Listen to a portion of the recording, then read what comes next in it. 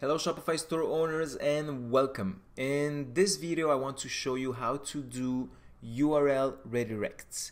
This will be useful if if you did some changes to uh, to a product, to a collection, to some pages or also in the case that you're moving from another store or from another platform. If you're coming from WordPress, from Magento, the structure of the URL will be different on Shopify than what you used to have. So it's really important for SEO to not send your customers to a 404 page, a not found page. It's it's important if you do know the URLs that you set them up in Shopify. So let's see how we can do it. Go in your admin panel, click on online store, then click on navigation and you have over here URL redirects. So what you can do, you, you have two options. If you have only a few URL redirects that you want to, to put in, just create the URL redirect. If not, you can also import.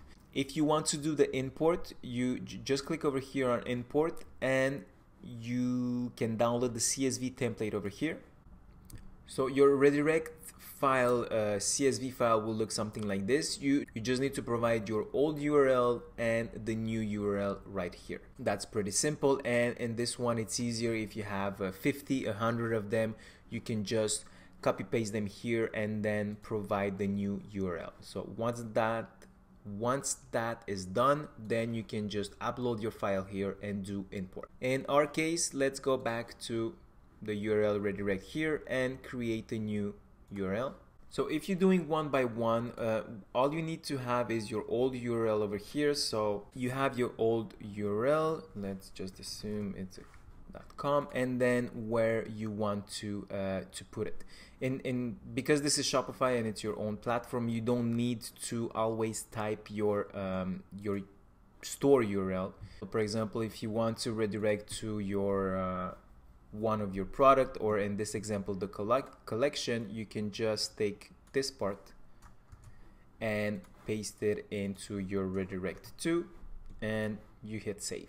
So this is this is created. You can continue to add uh, more create another one. You can view your redirects. There's no need to add the http um, because this this URL redirect will work for the domain name that you have registered with your Shopify store. Uh, so we are assuming that is the same domain name that you had before on another store. Uh, if it's not the case, it should be. Um, that's how this is working. So if you had something else over here that it was uh, product and it's on WooCommerce, this uh, this link will will still work with your new domain name but it will point to a 404 page. So if somebody is trying to link to this with the redirect they will actually go to your redirect specify uh, url over here. So that's how it works. That's how you should implement it. Make sure we're talking about the same domain name and uh, this will fully work after you transfer also the domain name to your shopify store this is it. Again you can add one by one if uh, if you don't have that many or you can do uh, an import export of your urls if you have a bunch of them to do. If you have any questions please let me know in the comments below. If you have any suggestions also use the comments.